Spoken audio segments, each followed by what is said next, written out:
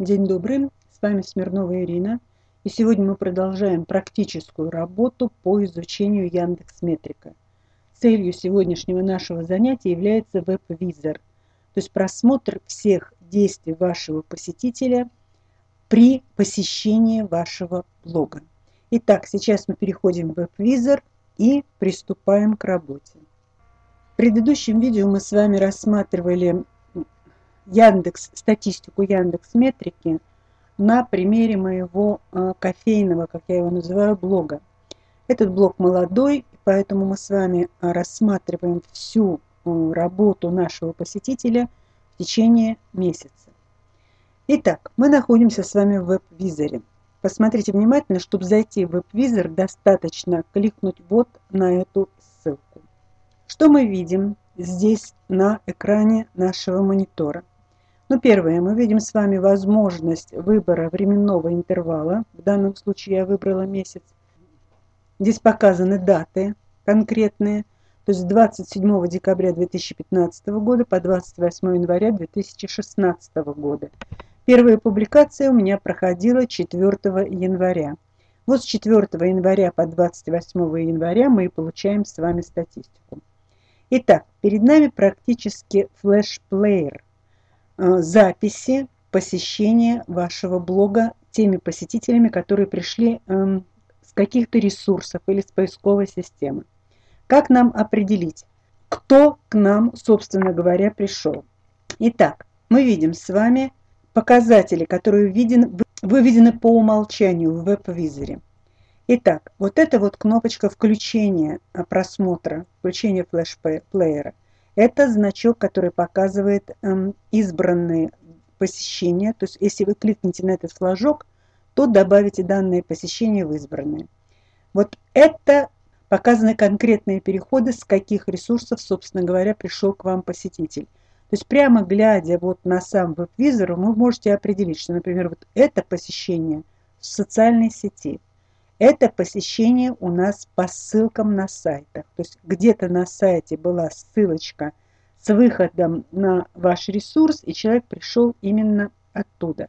Вот посмотрите, если мы посмотрим первое посещение, то вот здесь конкретно будет указано, что переход был с Твиттера. А вот здесь посещение идет а, по ссылке со стороннего сайта, здесь показано, что это был переход с субскрайба. Вот такие желтые окошечки – это прямые заходы. В этом случае у вас, так сказать, есть надежда на то, что данный сайт у вас уложен в закладках вашего посетителя. Это очень такие хорошие э, переходы для вас, потому что это практически те люди, которые уже ваш сайт запомнили. Это опять же социальные сети, а вот такой значок показывает переход из поисковой системы. Здесь обычно при переходе из поисковой системы показано, по какому запросу приходит человек к вам. Ну вот, например, вот здесь вот переход из поисковой системы прямо показано, с какой системы пришел. Э, Яндекс, видите, кнопочка Яндекса, и конкретно показан запрос, по которому человек пришел. Итак, что мы видим дальше? А дальше мы видим страну посетителя. Мы видим здесь с вами программное обеспечение – то есть, что, собственно, какое программное обеспечение стоит на компьютере у этого человека. Мы видим, из какого браузера он пришел. Даже вот такие тонкости показаны. Чуть позже мы с вами посмотрим, что мы можем даже увидеть разрешение экрана э, человека, который, вернее, компьютера, с которого человек к вам попал на сайт. Вот это дата и время. Дата и время посещения. Здесь показана активность. Вот эти вот красные точечки говорят о том, что человек очень быстро зашел к вам и очень быстро ушел от вас. Вот посмотрите, видите, здесь показано время на сайте. Всего 36 секунд. Просмотрено всего одна страница. Вот показано, что этот человек у нас пошел по внутреннему переходу, то есть, по всей видимости, он пришел эм, с какой-то странички внутри эм, вашего сайта, очень быстро все это просмотрел и ушел. Номер визита его вот в данном случае мы видим четверка. Вот здесь мы можем с вами посмотреть цели, а здесь мы можем посмотреть информацию об этом человеке, нажав вот на эту кнопочку «И». Вот если я нажму сейчас на эту кнопочку, то я вижу, что человек пришел из России, с Пермского края, конкретно с города Перми, что у него операционная система стоит Windows или 2008 сервер.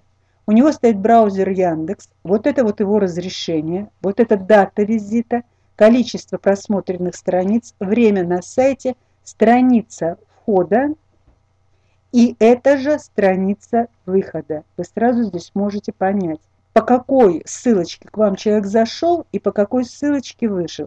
То есть он за 36 секунд просмотрел вот эту статью, самые э, простые упражнения для продолжения жизни, и с этой же странички он ушел. Последний источник трафика был внутренний переход от последнего посещения, то есть, так сказать, еще э, одно посещение было, и активность достаточно плохая. Закрываю крестиком эту информацию и смотрю дальше. Если я буду очень долго просматривать вот этот вот экран, то, конечно, времени займет это много. Вот здесь посмотрите, вот обозначено кружочками, это количество целей, достигнутых вашим посетителем. На этом блоге у меня стоит только одна цель, это просмотр пяти страниц. Блог молодой, мы с вами говорили в предыдущем занятии, в э, предыдущем видео о том, что практически вот та аналитика, которую я сейчас делаю, она идет к конкретным целям. Первые три цели я практически достигла э, при аналитике, которая записана в первом видео, а сейчас меня интересуют такие цели. Это поведение человека на сайте. Э, я ставила перед собой задачу э, по составлению текста собственной статьи. То есть у меня любая статья начинается, как бы начинается с теоретических выкладок. И мне интересно знать, читают люди эти теоретические выкладки или их интересует только конкретная э, информация такая. И еще один момент, который я хотела бы посмотреть, это как заполняются формы на моем сайте и как работают вообще странички, которые предлагают какие-либо учебные курсы. Но вот этот момент я вам буду показывать не на кофейном блоге, а на своем рыжем блоге, потому что на кофейном блоге у меня практически нет пока страниц, в которых есть формы заполнения. Итак, вспоминаем о том, что практически э, веб-визор запоминает только э, информацию двухнедельной давности. И если у вас посетителей больше тысячи в течение дня, то он запоминает только тысячу посещений. Вот у меня сейчас пока всего 572 посещения – то есть практически э, последние две, за последние две недели было 572 посещения, которые запомнил, которые запомнил веб-визор и которые я могу просмотреть. То есть вы должны понимать, что если вы хотите иметь эту информацию, то заходить сюда надо не менее чем один раз в две недели, чтобы посмотреть поведение вашего посетителя. Но если я буду все эти 576 просмотров смотреть, скажем так, очень много времени на это затрачено. Поэтому я делаю следующее. Я сегментирую посещение. Вот я здесь нажимаю вот эту галочку, и мне предлагается создать как бы группы, которые бы я хотела просмотреть. В данном случае я хотела посмотреть поведение моего посетителя, достижение цели. Вот я захожу, еще раз повторяю, поведение – Выбираю здесь достижение цели. Цель у меня стоит одна. Всего 5 страниц просмотра, да, таких посещений у меня 61. Я вот здесь ставлю галочку и кликаю на свободном поле. Всплывающие окна ушли, и посмотрите, вот у меня выложено 61 посетитель, который выполнил, э, достиг, вернее, той цели, которую я поставила. То есть э, просмотрел 5 и более страниц. Вот видите, здесь идет 5 и более страниц. Естественно, мне не нужно смотреть те посещения, которые занимают там одна страничка, две странички. Мне нужно просмотреть, как э, ведет себя человек, который с интересом просматривает мой сайт. То есть практически я должна видеть своего целевого посетителя. Целевой посетитель – это тот человек, который по моему сайту прогуливается, гуляет, рассматривает, читает. Поэтому я поставила себе вот такую цель – 5 страниц. Итак, для того, чтобы мы с вами поняли, э, как можно оценивать э, нашего посетителя, давайте мы посмотрим следующее. Вот посмотрите, вот здесь рядышком с посещением есть вот такой плюс. Если вы нажмете на этот плюс, то перед вами откроется количество страниц просмотренных. Вот посмотрите, 5 страниц здесь просмотрено, вот они все 5 страниц здесь перечислены. То есть вот здесь показана ссылка э, входа, страничка входа, через какую страничку человек попал к вам. Здесь показано, откуда он попал. То есть вот он зашел, в данном случае он попал сюда из Твиттера, да. Здесь идет э, конкретно переходы с одной страницы на другую, вот они здесь все абсолютно показаны. Вы прямо проглядывая вот этот первый столбец, можете сразу сделать какие-то выводы. Посмотрите, вот если я читаю здесь, то здесь видно, что это классическая нумерология. То есть это человек, которого интересует нумерология. Это он зашел ко мне сюда, номер визита у него первый, то есть этот человек первый раз попал ко мне на сайт. Он до сих пор у меня на сайте не был. Попал он сюда через социальную сеть. Значит, кликнув на ссылку в Твиттере, он зашел сюда, и посмотрите, следующее его действие какое. Он вышел на главную страницу. С главной страницы он перешел на рубрику «Нумерология». Потом он перешел на страницу «Как рассчитать нумерологический код». И потом перешел на страницу «Выяснить, как рассчитать личный код года». Был он на сайте 14 минут 40 секунд. Я понимаю, что это человек, которого интересует рубрика «Нумерология». И здесь я могу сразу же просмотреть его действия. Вот посмотрите, у нас здесь с вами показаны шкала действий человека вот на данной странице. Обратите внимание, что она разноцветная. Вот здесь где-то у нас есть вот такие серые поля. Вот, например, как вот здесь, видите, серые поля такие большие. Это серое поле обычно показывает то, тот временной интервал, где человек либо читал текст вашей страницы, либо отвлекся, но страницу вашу не закрыл. Зеленым показаны э, моменты, временные интервалы, когда человек активно работал на вашей странице. Черным, вот таким вот черным, вот видите, черные интервалы такие.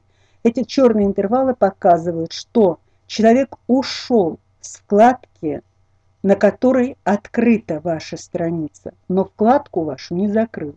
Вот посмотрите, в данном случае человек ушел со страницы, а потом вернулся сюда. То есть вкладка была все время открыта, он куда-то уходил, опять возвращался и опять продолжал активно работать, а потом, вот видите, пассивный переход. Вот эти вот яркие красные полосочки – это клики. Те клики, которые человек делает у, у вас на сайте.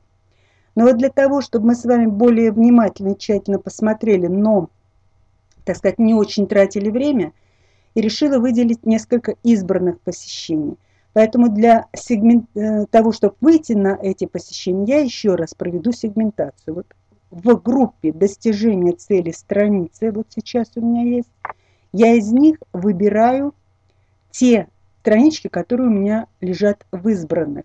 Это у меня веб-визор. Вот я здесь выбираю веб-визор. У меня открываются просмотренное и избранное. Я выбираю избранное, именно избранные страницы кликаю на чистом поле, у меня избранных страниц появляется вот таких 4. Ну давайте мы зайдем с вами вот на это посещение. Я открываю эту страничку, я смотрю, здесь у нас было 11 страниц.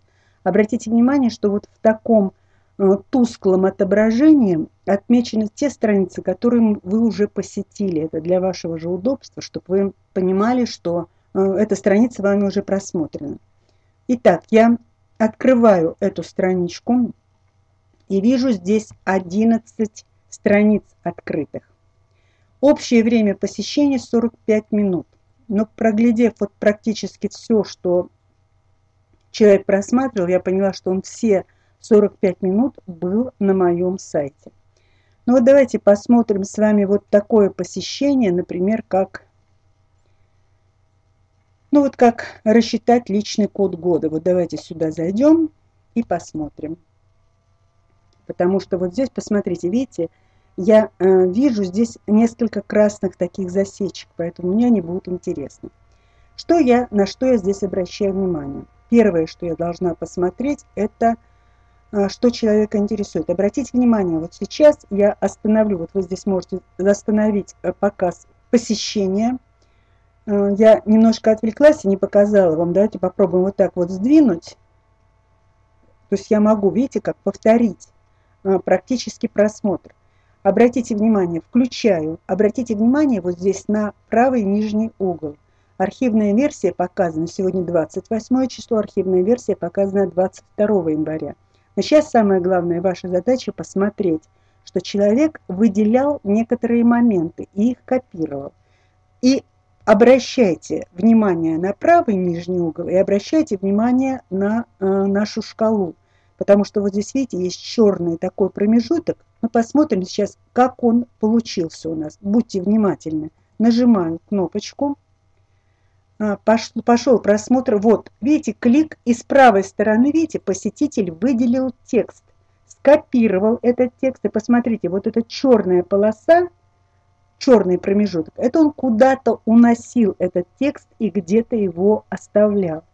Дальше идет просмотр последующий. То есть человеку достаточно интересно было, он даже кое-что там выделил, да? Смотрим дальше. Сейчас будет опять клик. Вот он этот клик. Посетитель снял выделение, в правом нижнем углу показано. Просматривает дальше. Тщательно читает. Я могу сделать вывод, что, по всей видимости, у человека, ну, эм, наверное, или рассеянное зрение, или он э, так вот привык читать, потому что он все время под текстом вводит э, курсором, то есть чтобы не отвлекаться. Значит, здесь я могу сделать вывод, или у человека зрение такое, либо у человека э, очередное, извините, отвлекусь, видите, очередное посещ... э, выделение текста. И опять человек пошел, черная шкала, ушел, этот текст унес. И дальнейшее чтение. Значит, я отвлеклась, что это либо у человека зрение плохое, либо у меня, возможно, так текст оформлен, что вот, ну, не очень хорошо, не очень нравится ему, э, как у меня оформлено. Посмотрите, видите, э, человек кликнул на похожие статьи. То есть вот здесь доказательство того, что похожие статьи, которые публикуются здесь, они нужны нам с вами. То есть человек переходит, по, читает внимательно и переходит по тем статьям, которые его интересуют. Видите, вот планируем жизнь э, и ушел на эту статью. И опять выделил текст, и опять его, его скопировал этот текст. То есть я вижу, что человек очень тщательно и старательно работал э, с текстом моей страницы. Уходил, опять вернулся и опять перешел, э, то есть выделял текст, загружал и так далее. То есть я вижу, что он активно очень работал. Вот после того, как я просмотрела полностью вот это посещение – Первый вывод, который я сделала, это то, что нужно как можно больше мне сейчас написать э, статей по нумерологии, чтобы вот эти вот пять э, плашек, которые стоят внизу статьи, были полностью заполнены. То есть вот, э, видите, оказывается, они э, достаточно активно, с ними работают люди. Но я не могу вам сейчас показать буквально все по одной простой причине, у нас просто времени на это не хватит. Второй момент, если мы с вами внимательно э, просматривали, то есть вы просматривали вместе со мной вот э, те, ту информацию, которую я э, увидела, ну давайте, вполне возможно, что мы сейчас с вами сумеем это посмотреть. Я отключаю этот показ, и давайте мы выйдем с вами вот, ну, возможно, вот, ну давайте вот на это посещение выйдем, 11 страниц. Сейчас откроется шкала. Мы посмотрим с вами, что здесь интересного можно у нас посмотреть. Давайте посмотрим вот 12 минут. Давайте посмотрим вот здесь. Самые простые упражнения для продления жизни. Я уже, к сожалению, не помню, где этот человек, э, где э, ярко было, так сказать, отмечено и замечено, что э, очень важны популярные статьи с правой стороны в сайт-баре, вот если в этом посещении, то было бы, вот сейчас будет клик, Вот куда человек кликнет, давайте посмотрим. Он выделил опять, выделение прошло, оказывается, текста. Перенес этот текст человек куда-то. У него, видно, э, э, размер монитора немножко отличается от моего, поэтому так вот сдвинута страница вправо и влево, то есть он работает бегунком. Так, и вот он перешел на другую страницу. Э, опять ушел, видите, в браузере куда-то и вернулся на физическую активность, второе правило долголетия. Вот этого посетителя интересует информация по долголетию, находится в рубрике долголетие. Вот здесь он э, отвлекался, а теперь он э, читает, рассматривает активно страницу. Сейчас будет клик. Давайте посмотрим, куда он ушел. Видите, он ушел на рубрику аналогии. И вот так вот вы можете все это внимательно просмотреть. Он ушел в рубрику, и в рубрике он э, будет просматривать вот эти вот страницы. Посмотрим, что его больше всего заинтересует.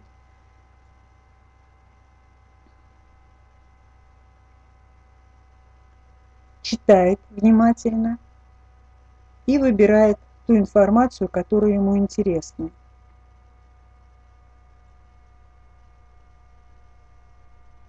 Просмотрел, посмотрите, сайт-бар.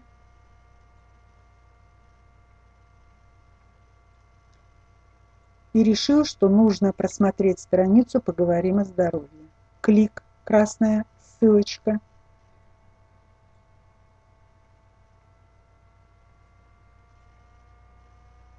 Сейчас внимательно посмотрит э, вот эту информацию – прочитает. У него активно работает, э, как видите, курсор. И э, я вижу по шкале, что, видите, вот эта вот вся часть, вот она, она зеленая, то есть ярко такая зеленая, не, не чисто полосочки короткие, а ярко-зеленая. То есть человек очень внимательно все прочитывал. Такое ощущение, что вроде как такая очень простая информация, но видите, он тщательно ее читает. Вот просмотрев множество а, посещений, я пришла к выводу, ответила на свой вопрос. Теорию надо давать. Человеку важно получить объяснение и понять, почему именно так надо делать, а не иначе. Еще один момент, на который я хотела бы обратить внимание ваше, это на то, что а, для людей очень важны комментарии. Имейте в виду, что люди, которые пишут вам даже отрицательные комментарии, старайтесь на эти комментарии очень хорошо, эм, открыто и полно отвечать, потому что вот когда вы будете смотреть э, посещение собственные веб-визора, то вы обратите внимание на то, что э, люди очень внимательно читают комментарии, особенно на подписных страницах. Потому что, естественная информация о том, э, что какие отзывы люди дают э, на ваши, например, курсы или на какие-то ваши вебинары, это очень важно. Вот посмотрите, видите, тщательно прочитываются комментарии. Вот здесь обратите внимание, в самом низу очень такой интересный комментарий, который дала вот э, посетитель Зинаида. Она дополнила статью, буквально вот посмотрите, 15 строками, но каждая э, информация была очень такая серьезная. И человек внимательно тщательно прочитал весь комментарий. То есть вот то, что я давала, по всей видимости, в статье, как-то задело человека, и он решил вот получить это дополнение, которое дали другие люди.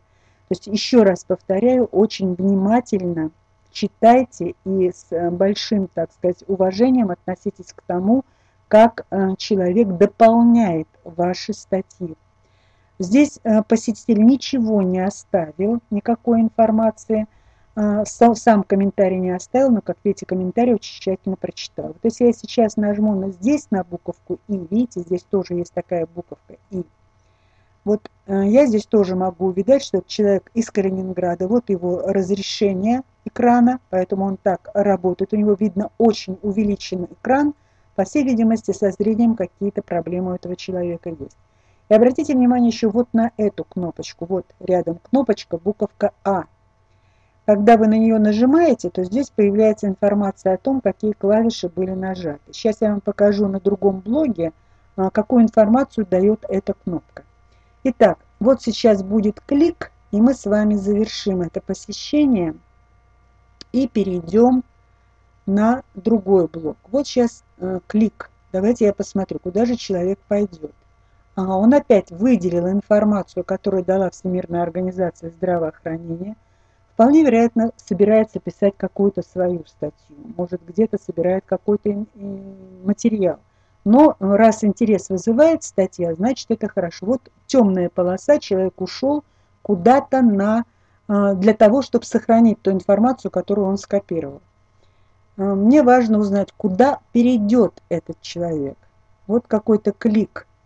Он ушел где-то, уходил, по всей видимости, в, другой браузер, э, в другую вкладку на браузере и сейчас опять просматривает информацию, то есть запоминает ее эта информация, эта информация ему понадобилась. Вот этот э, посетитель, его интересовало здоровье, долголетие, аналогии и так далее. То есть вот он брал информацию э, такую, которая, по всей видимости, ему где-то пригодится. То есть я делаю вывод, что те статьи, которые я здесь публикую по долголетию и э, разжевываю, так сказать, информацию биохимическую в онкологиях, она, по всей видимости, нужна людям. Это хорошо, значит, будем работать в таком плане и дальше. Заканчиваю здесь визиты. И давайте мы перейдем с вами на метрику рыжего блога, на веб-визор рыжего блога. И посмотрим информацию здесь. Ну, э, первое, что я хотела здесь выяснить, конечно, первое, что хочу вам показать, э, что отличается от кофейного блога, это то, что на своем блоге э, в Рыжем я даю какие-то формы подписки на какие-то свои курсы, на какие-то вебинары и так далее. И у меня для этого оформлены страницы. Вот такие страницы, как страница «Рекомендую мои услуги», «Создать блог», они у меня э, зафиксированы в целях. Плюс еще сделана одна цель – это просмотр пяти страниц. Поэтому я бы хотела начать даже не с веб-визора, а с карт. Вот давайте мы с вами зайдем в карты, и я хотела вам показать карту ссылок. То есть вот меня очень интересует страница, которая называется «Рекомендую». Вот в данном случае у меня здесь идет карта ссылок главной страницы, соответственно, да. Я захожу во взаимодействие с сайтом и захожу на страничку «Рекомендую». Вот прежде чем перейти на просмотр ссылок, я вам показываю э, страницу. Здесь у меня кликабельные вот эти вот плашки – и сделаны кликабельные ссылки. И поэтому для меня очень важно посмотреть, как здесь ведут себя люди и какие, какие больше всего их курсы интересуют. Начинаю я с карты ссылок. Выхожу на просмотр карты и вижу, что здесь у меня первое, это вот желтым цветом, видите, обозначено слайдер – Эффективная рассылка. То есть эффективная рассылка людей интересует. Зеленым цветом обозначен курс блок с нуля. Выхожу сюда и обращаю внимание, что здесь курс блок с нуля самый-самый кликабельный. Ну и вот успешная рассылка. Видите, два а, практических баннера, которые больше всего вызывают интерес. Это я посмотрела по карте ссылок. Чтобы еще показать вам карту ссылок, чтобы было понятно, как э, работать с картой ссылок и как делать выводы, я еще хотела бы зайти на страницу содержания. Вот еще раз повторюсь, я говорила об этом с вами на предыдущем э, видео. Э, карта ссылок по содержанию очень важная карта. Здесь вот я сразу выбираю здесь зеленые, желтые, синие э, ссылочки показаны, я выбираю желтые. Вот посмотрите, подбор ключевых слов на Google вызывает вопросы, интересует. Э, как быстро сделать поздравительную открытку, слайд-шоу, PowerPoint, Fastone Capture, видите, вот такие инструменты в основном вызывают интерес.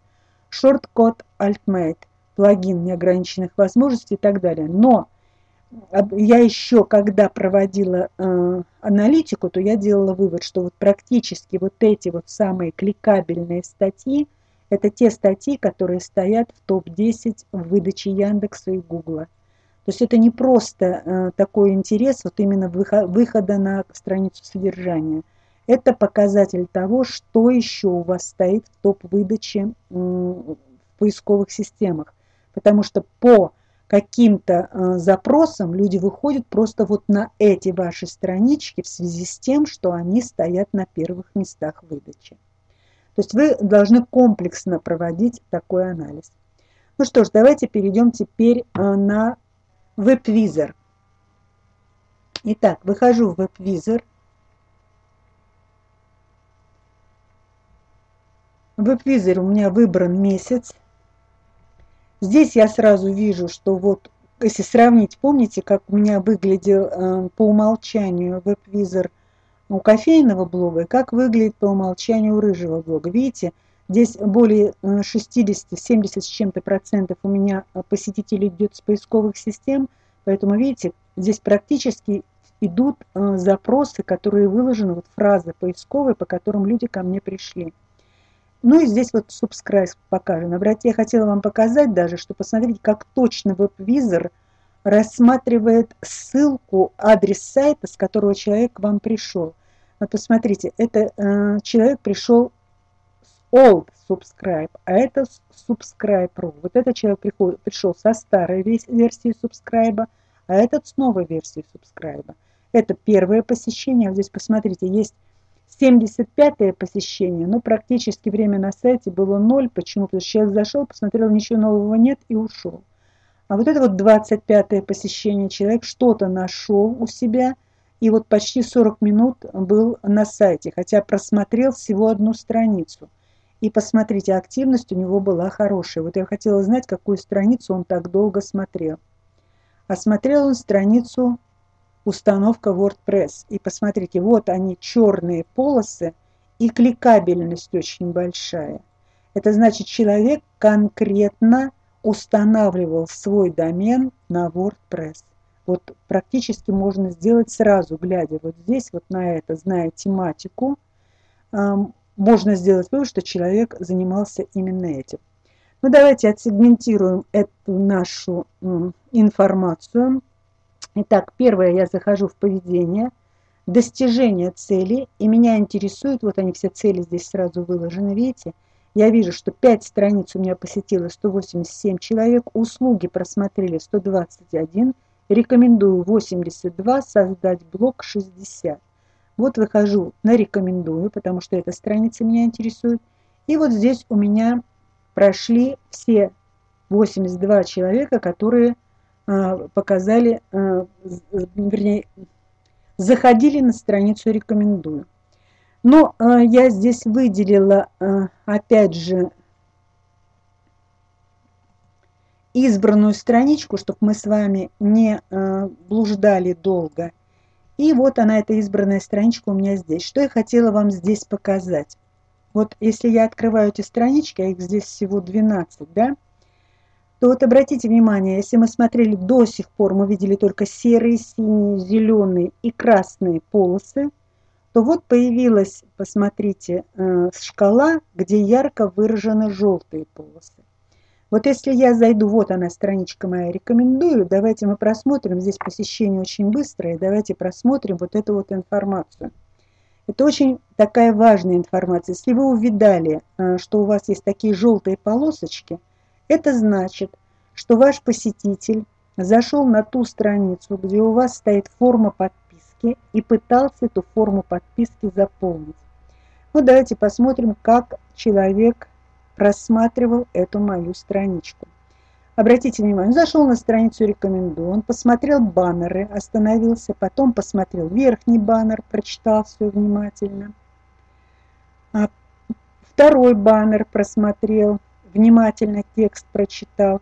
И вот он увидел третий баннер «Курс блок с нуля» и сразу кликнул на него. И попал на страницу которая является подписной страницей. Вот для меня очень важно посмотреть, как человек здесь себя вел. Посмотрите, здесь эта подписная страничка очень простая, здесь нет ничего такого сверхъестественного. Здесь просто конкретно написано, что курс блок с нуля бесплатный, что вы просто можете смотреть, повторять, и у вас а, будет все сделано. Вот обратите внимание, видите, у меня красная яркая стрелка. И при, во время посещения обратите внимание, что человек все время возвращается к этой красной стрелке.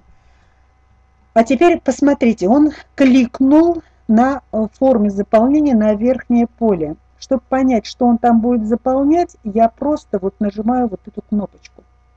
И у меня открываются все клавиши, которые человек заполнял на странице. Посмотрите, первое, что он сделал, он начал заполнять lead name, заполнил его как Антон, потом исправлял, то есть возвращался backspace, backspace и заполнил Антонина.